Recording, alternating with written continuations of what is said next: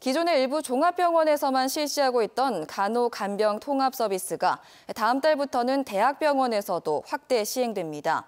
간호사가 간병을 직접 하는 것인데 간병비 절감은 물론이고 병실 감염 관리에도 효과적일 것으로 기대됩니다. 윤혜림 기자가 취재했습니다. 매달 2주 정도는 항암 치료를 위해 병실에 머무는 강복연 씨. 무엇보다 의료보험 적용이 안 되는 간병비가 큰 부담입니다. 있는 사람은 괜찮지만 없는 사람은 되게 부담스럽죠. 간병인 대날 병원비 대고 이러면. 이런 부담을 줄이기 위해 동아대학교 병원은 다음 달부터 간호사가 간병 업무도 맡습니다. 간호사 한 명당 환자 5명을 담당하며 기존의 간병인이 하던 역할을 합니다. 우선 한계병동 45개 병상부터 시작합니다. 혈액 종양과 호흡기 내과, 소화기 내과 환자를 위주로 시행합니다.